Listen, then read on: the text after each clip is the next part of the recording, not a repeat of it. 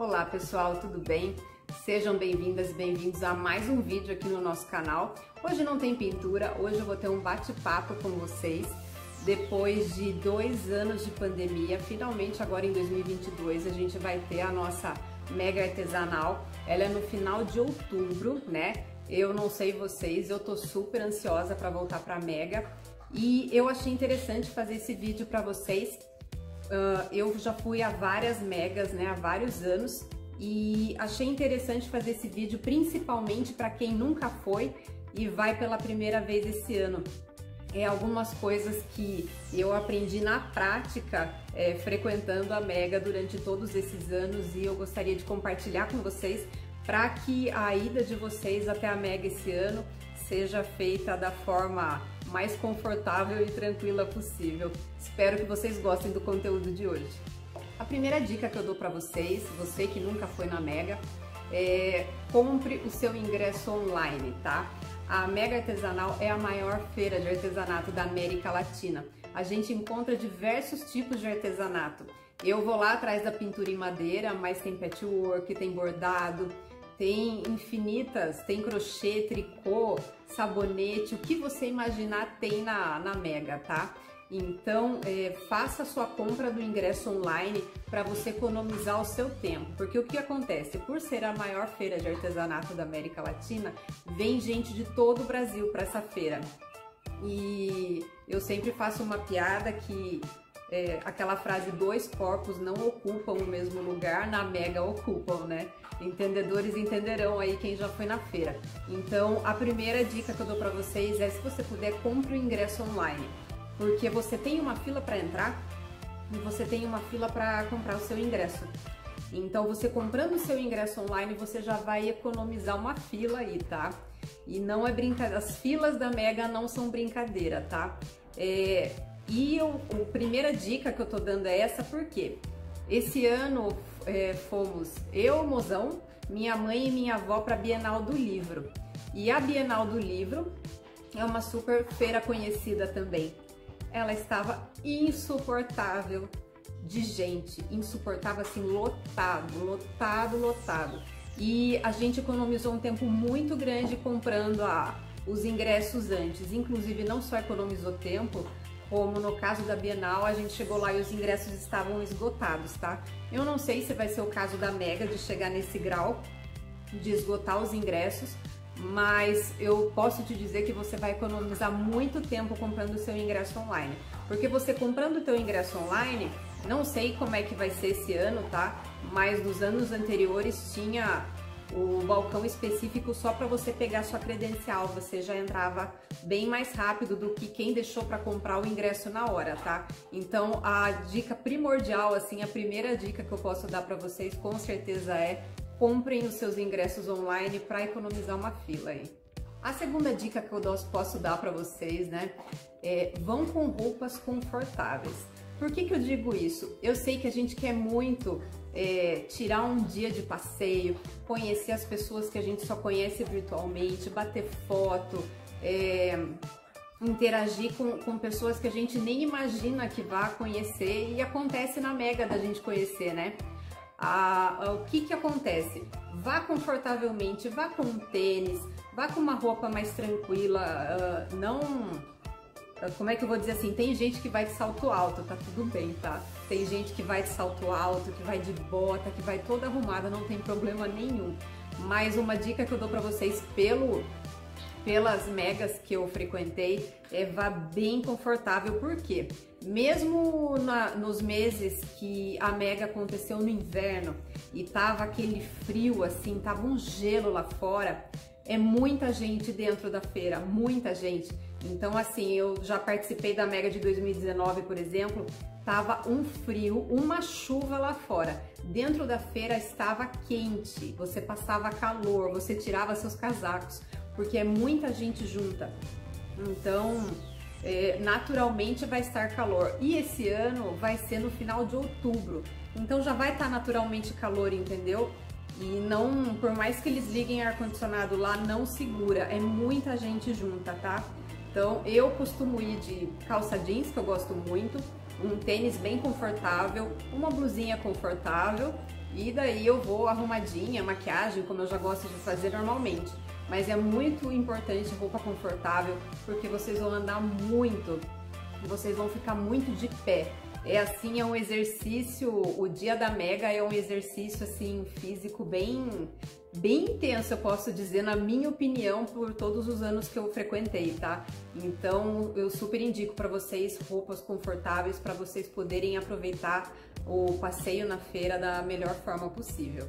A terceira dica que eu dou para vocês é levem água ou algum alimento para vocês é, comerem, uma, uma, um lanche rápido durante a feira.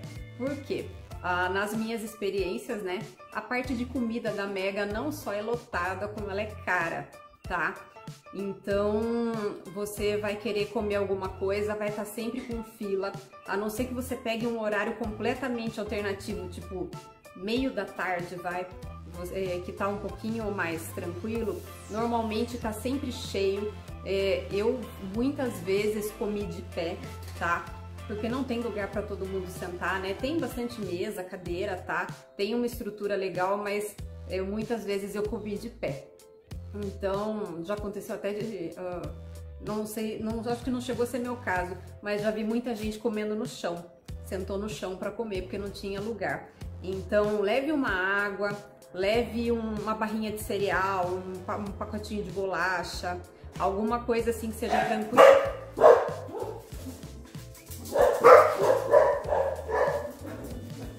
Alguma coisa que seja tranquila de carregar e comer e comer durante o seu passeio na feira para não acontecer de você estar tá morrendo de fome e ter que parar tudo e sair correndo para comer e acabar pegando aquela fila. Eu não sei vocês, mas é, eu com fome sou insuportável. Né? Então imagina num lugar cheio de gente. Então eu acho legal vocês levarem um lanchinho, uma água, alguma coisa rápida para comer, para vocês não acabarem tendo que pegar fila e passar um nervoso com fome porque não se preparou antecipadamente, tá? Então acredito que uma barrinha de cereal, uma bolacha, uma garrafinha de água só para ir enganando até você realmente parar para fazer o, o, seu almoço, o seu lanche, o que seja, eu acho que vai ajudar muito. Quarta dica que eu dou para vocês. É, no meu caso, né, que o meu nicho é pintura em madeira, Vamos dizer que quando a gente quer comprar umas peças de madeira, a gente pode acabar se empolgando. A gente não compra só peça pequena, às vezes a gente vê uma peça maior e quer comprar. E logicamente a gente compra. Porém, a gente vai carregar isso durante a feira, tá? É, algumas, uh, alguns anos anteriores da Mega, eles tinham um lugar que você deixava o seu o produto que você comprava e você pagava por sacola. Então era 10 reais o, a sacola. Então o que, que o pessoal fazia? Pegava uma sacolona, pegava todas as compras, enfiava numa sacolona só para pagar só 10 reais. Só que daí acabava amassando papel, acabava quebrando peça, você acaba colocando é, você acaba colocando para economizar no volume, né? São 10 reais cada volume. E no fim o que você comprou lá acaba amassando, batendo, acaba danificando, tá? Então, uma dica legal para vocês é leve em carrinho, tá? Seja qual for o seu, o seu nicho, patchwork, tricô, crochê, pintura, leve um carrinho, tá? Gente, tem gente que leva carrinho de feira, tem uns carrinhos de feira bonitinhos agora, né? Que tem a parte de fora coberta com, com lona. Tem os carrinhos bem bonitinhos, tem para vender por aí, não, não é nada exorbitante. Levem carrinho. O, aqui a, a, experiência que a gente teve foi até engraçado. Quando eu editar esse vídeo, se eu tiver foto, eu vou colocar aqui para vocês, tá? Eu fui alguns anos com as minhas alunas, né? E o que, que a gente fazia? É, a Ivone, que é que é uma aluna minha e minha amiga, ela foi no ferro velho e comprou um carrinho de supermercado. Um carrinho de supermercado mesmo, aquele carrinho grande, tá? Ela comprou, estava inteirinho. A gente deu um jeito de enfiar no carro, não me perguntem como, mas a gente enfiou o carrinho no carro. E daí a gente foi, pode levar normalmente, tá? A gente entrou na Mega com o carrinho de supermercado. Aí uma parava com o carrinho fora do stand, as outras entravam para comprar E daí a hora que a primeira saísse do stand, ela ia pro carrinho e quem ficou segurando o carrinho entrava para comprar. E assim a gente fez em todos os stands que a gente quis, tá?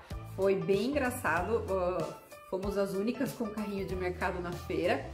É, mas ajudou muito porque a gente foi comprando, foi pondo no carrinho, não tinha perigo de ficar batendo, de ficar carregando um monte de sacola, é, ficar com o braço doendo, a coluna doendo, a gente honrou aquele carrinho que tinha a sacolinha amarrada até do lado de fora do carrinho, tá? Né, Luna? E, e, foi bem legal porque a gente aproveitou e o carrinho tá aí até hoje. Se bobear agora na Mega de 2022, se vocês acharem um carrinho de supermercado aí, é capaz de ser eu, de, de eu estar aí no meio, tá? Não duvido nada. Então, assim, levem um carrinho de feira, levem o carrinho que vocês quiserem, mas levem um carrinho, porque vocês vão economizar o braço de vocês, tá? Vai ser bem mais tranquilo, inclusive vai economizar um pouquinho os 10 reais do volume aí, que é o que cobram na feira para guardar sua sacola, tá bom? Bom, quinto, quinta dica, e essa é uma adicional da, da última dica, tá? Não percam seu carrinho de vista, seu carrinho, sua sacola, não percam, tá? Eu já vi vários comentários, graças a Deus nunca aconteceu comigo, tá? Mas eu já vi vários comentários de gente que parou no stand pra, pra ver alguma coisa, deixou o carrinho do lado ou atrás e perdeu de vista por, por um tempo e roubaram o carrinho, tá? Já vi várias reclamações de gente que roubaram o carrinho com os produtos, de gente que roubou câmera, de gente que roubou celular. Às vezes você para na frente do stand e fala, nossa, que coisa linda, e começa a, a, ter ideias, a ver, porque é muita informação. É um, você volta cheio de ideias, né? Muita informação e você esquece por alguns segundos que aquele teu carrinho tá do lado. Infelizmente tem alguém que sempre vai estar tá prestando atenção nisso, tá? Então nunca deixem o carrinho de vocês, a sacola de vocês é, fora do, da vista, tá? Porque eu já vi vários relatos de gente que teve o carrinho roubado, sacola roubada, e é uma coisa bem chata, né? Mas infelizmente ocorre e eu, eu tinha que contar essa pra vocês. Nunca percam o carrinho ou a sacola de vocês de vista. Outra dica que eu quero dar para vocês é olhem o mapa da feira. A gente não acha, não, não imagina, quem nunca foi na feira, o tamanho que ela é. A feira é dividida por ruas e essas ruas, cada rua tem uma letra. É gigantesco, é muito grande. Muitas vezes durante é, alguns anos aí eu deixei de, de achar certos estandes que eu queria porque é grande demais e a gente acha que vai fazer tudo organizadinho e acaba se perdendo. Eu sempre vou, quando eu entro na feira, eu começo a ir por uma rua e eu vou fazendo zigue-zague para passar em todos os estandes para ver tudo. Mas muitas, muitas vezes esse caminho acaba sendo alterado por algum motivo, não me perguntem qual, tá? E eu acabo perdendo algum stand. Então uma dica que eu dou para vocês é peguem o, o mapa da feira, olhem onde estão o, os estandes que vocês querem entrar, tá? Então eu chego assim, eu já olho, ah, o stand que eu quero entrar tá aqui, o outro aqui, o outro aqui, o outro aqui. E eu fico de olho nisso pra, caso eu chegue em algum stand que eu sei que tá perto, eu já falo, opa, é, o stand que eu quero entrar tá, tá perto desse stand e eu já fico meio de olho para não me perder. A gente acha que não, mas tem muita coisa, o lugar é enorme, tem muita informação, são muitos stands e tem esse mapa tanto lá na feira, tem alguns pontos da feira que tem esse mapa grandão para você ver, quanto tem o mapa para você baixar no próprio site da WR São Paulo. Então tenham esse mapa em mãos ou no celular memorizem bonitinho quais são os estandes que vocês querem ir, para não ter perigo de vocês passarem batido sem querer e perder de, de entrar nesse estande. Sexta e última dica. Aproveite, divirta-se, passeie, encha, encha a sua cabeça com ideias novas, se inspire não só nas coisas do seu nicho, veja os outros nichos que você não trabalha. É muita coisa linda. Uma coisa que eu senti diferença da Bienal para o livro, e eu sempre vi isso na Mega, é que na Bienal era um lugar lotado de gente, cheio de livros para comprar, mas eu não vi nada nada que me atraísse para ter pego aquele lugar cheio de gente para andar, porque os livros são os mesmos que eu encontrava para comprar na internet, os preços, os descontos para mim não fizeram diferença, tá? Os preços para mim não fizeram diferença, não foi nada super mais barato, tá? Eu acho que foi mais assim, fui na Bienal do Livro. Não é o que ocorre na Mega. A Mega, muitos estandes, muitas marcas lançam coleções especialmente na Mega tá? Então a gente vai pegar novidades em primeira mão na feira, porque o, a maioria dos estandes faz isso. Tem muita ideia legal, dá pra gente se inspirar de diversas formas. A gente conhece artistas que a gente só vê pela internet, a gente conhece trabalhos ao vivo, coisa que a gente só viu na internet, a gente vê o trabalho ali ao vivo nas vitrines. Então divirta-se, bata foto, dificilmente um stand hoje em dia não deixa você fotografar, tá? Isso é coisa, acredito eu que é coisa de muitos e muitos e muitos anos atrás. Hoje em dia eles deixam fotografar, então se divirta, fotografe, conheça quem você, se você tiver oportunidade, conheça quem você vê lá na feira que você gosta muito. Tire esse dia para você, para você se divertir, porque você volta com outros ares. Por mais que seja uma coisa lotada de gente, que você anda, que você chega em casa acabada, pelo menos é o meu caso, você volta super feliz, cheia de ideias na cabeça e feliz de ter conhecido, feito amizade e aproveitado um dia tão diferente que infelizmente só acontece uma vez por ano, tá? Imagina agora esse ano que a Mega tem menos dias do que normalmente ela tem, né? E após dois anos sem ter por conta da pandemia, né? Então a Mega vai ser mais curta e após dois anos de pandemia. Então eu tenho certeza assim que a experiência vai ser é, elevada ao quadrado, vai ser uma coisa bem bem forte, bem. Acho que o pessoal vai matar muita saudade. Quem não conheceu vai estar tá conhecendo, vai tomar um susto, porque é o tipo de feira que, que faz a maior, o maior rebuliço. A gente que trabalha com artesanato, pelo menos eu, é uma das coisas que eu mais, mais espero no ano para ir, tá? Então vale muito a pena se você for esse ano, aproveite ao máximo, porque cada, cada ano é uma experiência única, vale muito a pena participar.